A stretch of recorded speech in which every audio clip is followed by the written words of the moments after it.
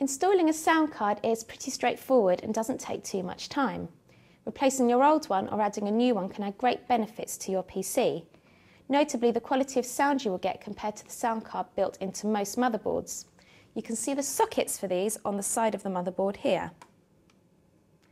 For the purpose of this video, we will show you how to install a PCI card.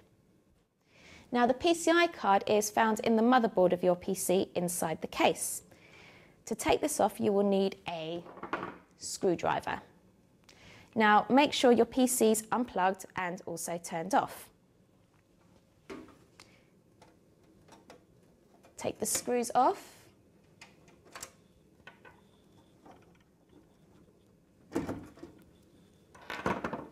Make sure you keep those for later.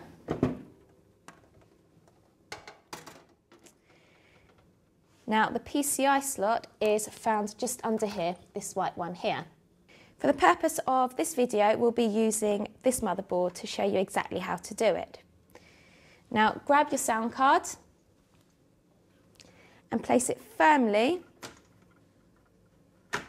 into a spare PCI slot. Screw it in to ensure it stays there. Place the lid back on the case and then turn on your PC.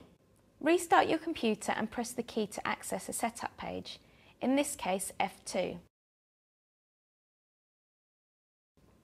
Press the right arrow key to move to Advanced and then the down arrow once to Peripheral Configuration. Press Enter.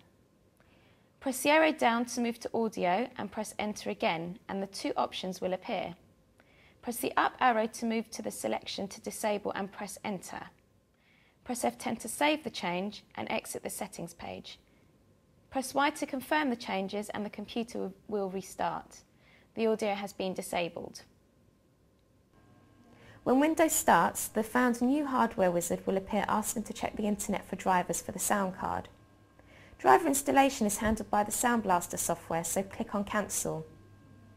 You may need to do this more than once because Windows may see the card as more than one device. Once the wizard has been cancelled and not reappeared, start the installation program.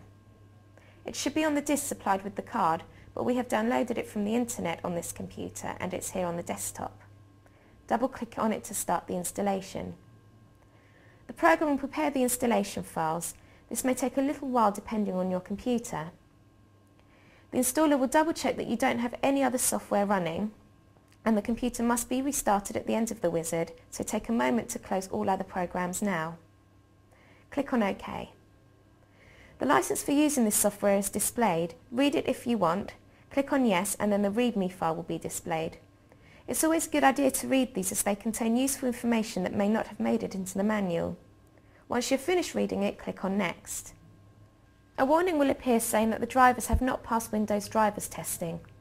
We can trust Creative to have made the drivers that work, so click on Continue anyway. You might need to do this more than once